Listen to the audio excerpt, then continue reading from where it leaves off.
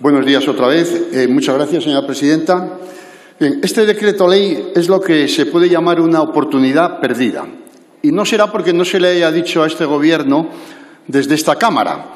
El 16 de junio se aprobó aquí mismo una proposición no de ley sobre energía que no se ve reflejada en este decreto.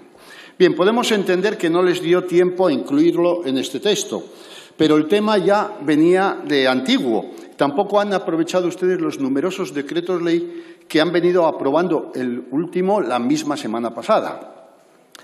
En fin, aunque hay cosas positivas en este decreto ley, sin embargo, han dejado insatisfechos a los pequeños eólicos y han dejado totalmente insatisfechos a la industria electrointensiva.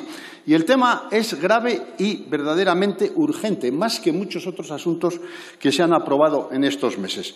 Sin la interrumpibilidad que sigue sin convocarse las subastas para el segundo semestre del año 2020, mientras continúa vigente en Francia, en Alemania, en Portugal, sin la compensación de CO2, el diferencial de energía en España con respecto a los países de nuestro entorno en estos momentos va a resultar insalvable y tiene un gravísimo riesgo de deslocalización de la industria básica española.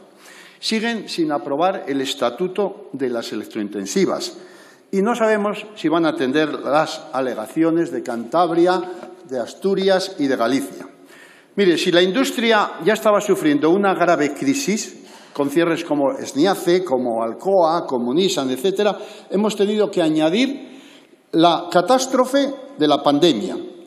Y en este sector las consecuencias son para siempre.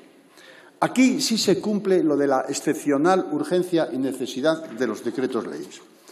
Además, en este decreto ley, ustedes han incluido un artículo sobre el superávit de las entidades locales que va contra la opinión de la mayoría de esta Cámara.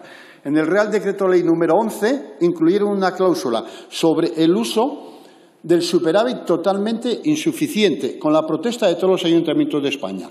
El 20 de mayo yo mismo la interpelé nuevamente sobre el asunto y ahora incluyen únicamente un 7% del superávit del 2017 para comprar coches eléctricos que la mayoría de los ayuntamientos no necesitan para nada.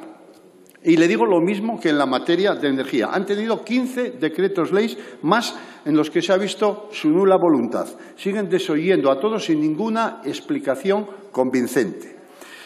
yo no sé si van a poder comprometerse hoy a algo concreto que pueda hacer que votemos a favor de la convalidación, porque ya hemos visto que este Gobierno hace un caso escaso de esta Cámara, incluso cuando la aprueba con el apoyo de sus grupos parlamentarios.